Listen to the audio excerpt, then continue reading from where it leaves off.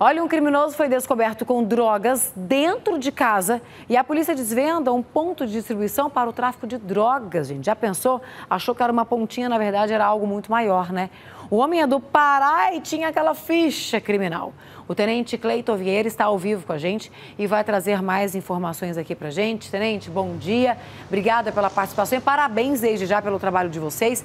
Ele é de facção criminosa? Bom dia, Manuela. Positivo, ele pertence a uma facção criminosa. Como que a polícia chegou a esse criminoso, tenente?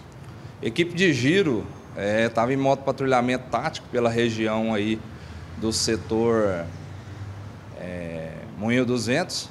É, quando visualizou esse indivíduo em atitude suspeita, foi realizada a abordagem e durante o procedimento policial foi localizada aí com ele na sua posse em sua residência aproximadamente 120 quilos de maconha, grande quantidade de droga. Ele tinha função aí de armazenar e distribuir a substância entorpecente. Tenente, então foi um patrulhamento de rotina, por isso a importância da polícia nas ruas sempre. E eu digo sempre aqui que a bandidagem ela tenta esconder e tenta disfarçar. Mas a polícia tem faro, né, Tenente? Não adianta, a polícia percebe quando tem alguma coisa de errado. Mas vocês imaginavam que fossem chegar na casa dele e encontrar tudo isso? Porque é uma enorme quantidade de drogas, né? É grande quantidade mesmo, né? A priori ali é uma região que é bastante conhecida, então por isso a gente sempre está intensificando o patrulhamento ali na região.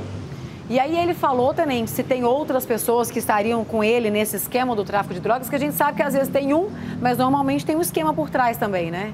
É uma organização, né? A função dele ali era armazenar essa substância numa residência setor Moinho dos Ventos e posteriormente a distribuição. Então tem algumas pessoas que trabalham com ele aí, mas a polícia já está fazendo os, os, devidos levantamentos.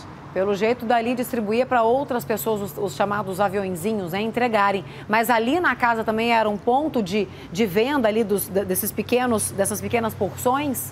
A região lá, a casa era, era utilizada somente para o armazenamento. Tá. Ali era feita ali só a distribuição, vamos dizer assim, no atacado, né? Só distribuições maiores. Esse indivíduo aí é oriundo do estado do Pará. E ele já tinha passagens pela polícia lá, por exemplo? Reincidente no crime de tráfico de drogas. Não adianta, né, tenente? Parece que não, não aprende a lição definitivamente. É um tipo de gente que não tem conserto, tem que ficar lá na cadeia apodrecendo. Vem pra cá só para trazer literalmente droga e porcaria aqui pra gente, né? Agora, tenente, a polícia deve continuar investigando, a Polícia Civil agora deve investigar esse caso, porque provavelmente, como, como você disse, a gente tá vendo aqui na imagem, gente, imagina só, a hora que a polícia começou a abrir esses pacotes ali, né? Com a quantidade de droga que tinha ali. Imagina. Tenente, isso provavelmente também agora para fim de ano, que a turma gosta de usar mais entorpecente, que tem mais festa, ia ser aquela farra do boi, né? Acabou.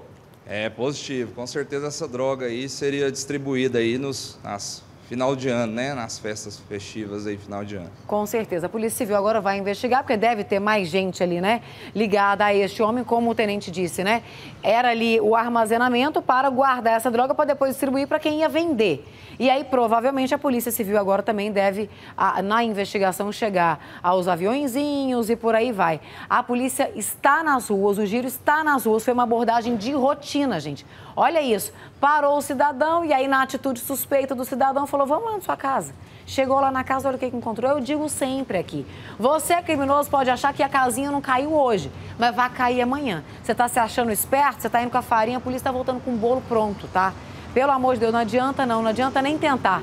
Obrigada, Tenente. Parabéns pelo trabalho de vocês. A polícia que continua nas ruas. E agora deixa eu só fazer uma observação, que eu quero também que o senhor reforce isso pra gente. Porque nessa casa não era feita a venda de pequenas porções. Mas às vezes aquela pessoa que suspeita de uma movimentação estranha na casa, que suspeita de um entre e sai de gente, pode fazer e deve fazer a denúncia para a polícia, né? Positivo. A pessoa suspeitou ali de um vizinho que é, tem movimentação estranha, pode estar informando a Polícia Militar. A Polícia Militar aí é 24 horas por dia à disposição do cidadão de bem. Combinado, Tenente. Muito obrigada. Mais uma vez, parabéns pelo trabalho de vocês aqui para combater a criminalidade, para combater o tráfico de drogas no estado de Goiás.